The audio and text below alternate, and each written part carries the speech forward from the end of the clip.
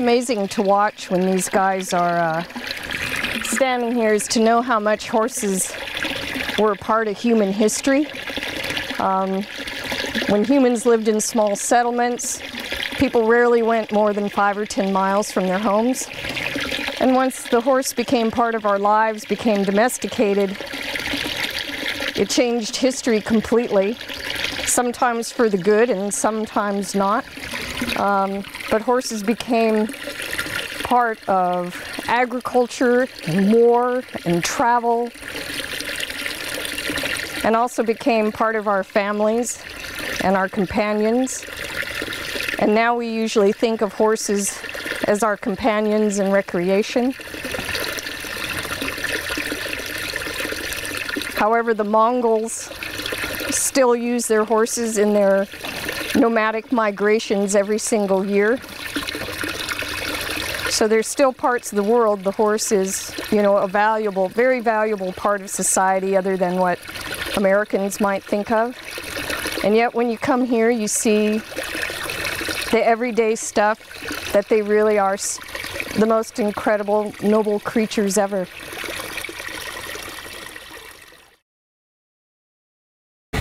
I'm in the midst of making lunch buckets. Now, usually horses just have their hay twice a day, maybe three times. But we have a couple of horses here that are hard keepers. And a hard keeper is a horse that has hard time keeping weight on. This is all in one with molasses. It's, it's a grain. We use beet pulp. We use rice bran. Um, it gives them all the nutrients they need, helps keep on the weight or add weight if they lose it. Um, very common in the winter time for this to happen. But the horse we're feeding right now is Axel. And he's a former racehorse and he needs to keep his weight on. So what I'm also doing is I put a little extra um, all-in-one here because I'm also going to be giving medication to one of our horses and also a little handful to another horse so we don't have a, um, a conflict where someone thinks someone else is getting something they deserve. Because really, it's like thousand pound toddlers around here. Okay, what I'm taking here is um, Previcox. It's an anti-inflammatory. And I'm going to put it right on top here so I see it. And when I feed the feed bucket to Axel before it gets to him, I'll take a handful of the all-in-one and give it to Gabby who needs this every day. It's an anti-inflammatory. Um, she's a former eventing horse who was overtrained and abused. And so what we do is she gets the Previcox daily. Um, she and with some of our other horses also get an injection every month as an anti-inflammatory. So I will give this to her with some all-in-one and because she is like a child like they all are. I'm going to watch and make sure she eats all her Previcox and doesn't spit it out. Gabby's story is that she's a former eventing horse. Think of a triathlete. She has dressage one day, arena jumping one day, and cross country with jumping over obstacles another. Um, her story, as I understand it, is she was overtrained, injured, and the veterinarian for this animal um, took her away from the owner.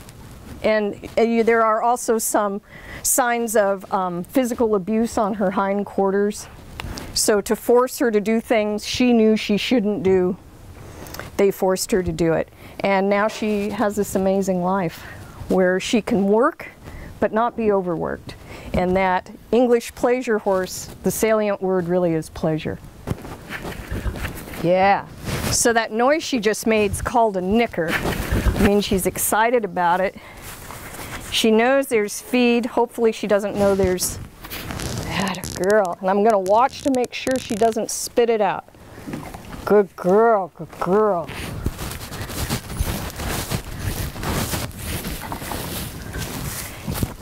Now you're going to notice some conflict here because she's had a little bit of her all-in-one, but she's going to see some other horses get it.